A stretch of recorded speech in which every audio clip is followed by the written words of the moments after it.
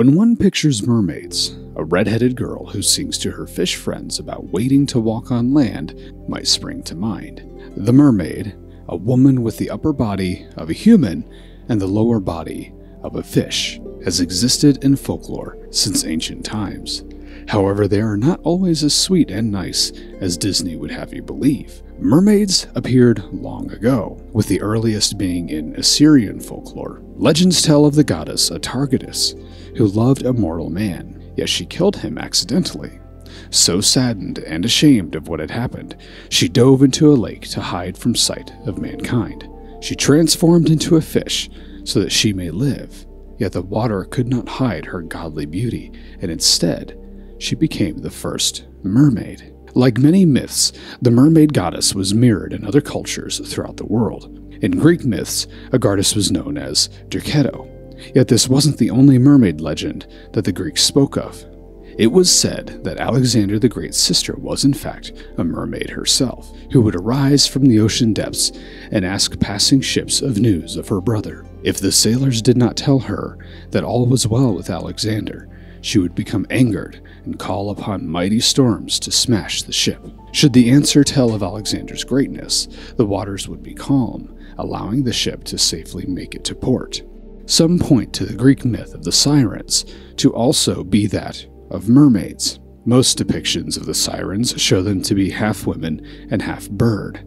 However, certain myths point them to being more mermaid like in appearance. Unlike the Disney version, most myths of the mermaid actually depict them as a sign of coming disaster. British and Irish folklore depicts these creatures as leading men to their deaths, luring them into the waters and drowning them. If a ship should meet a mermaid out on the open ocean, it was a sign that the men would never see the shore again. However, not every mermaid is considered evil. In one legend, a mermaid came to a village and listened to a man named Matthew Trewhella sing at the church. The two fell in love, and it is said that you can hear them singing together at night at Pendour Cove. Arabic folklore, such as that in 1001 Nights, depict merpeople to look no different than those who live on land. Several heroes of folklore venture below the depths of the oceans and meet cities of merfolk who live their lives with little difference to those on land. The myths of mermaids can be found throughout the world.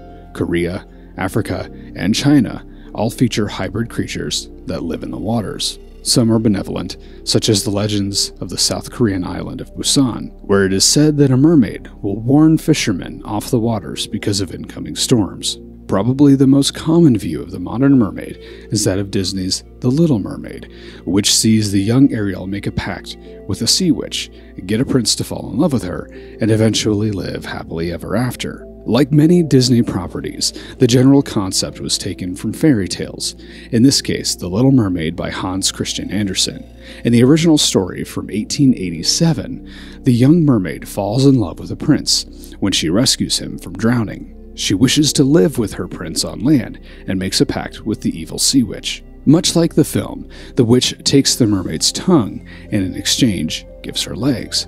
However, the witch tells her that if the prince marries another, she will die. As is the case with old fairy tales, of course, the prince is already set to marry another princess, and the mermaid is running out of time. But she is given a magic knife. If she kills the prince after his wedding night, she will be free and allowed to return to the sea. Of course, the mermaid can't bring herself to kill the one she loves, and instead jumps back into the ocean and dissolves into sea foam. Happily ever afters all around. As the world grew older, the belief of mermaids did not go away. Christopher Columbus wrote about sighting mermaids during his travels, and the pirate Blackbeard was reported as avoiding certain areas where the merfolk made their homes. So here comes the fun part. How does science try to explain mermaids? Of course, there is the idea that our ancient myths can cause people to think they see one thing, when in reality, it is something completely different. Many scientists believe that early sailors' reports of seeing mermaids were merely manatees. I suppose if you were stuck on an early ship for months at a time with nothing but salted pork and 40 other men, anything would look like a beautiful woman.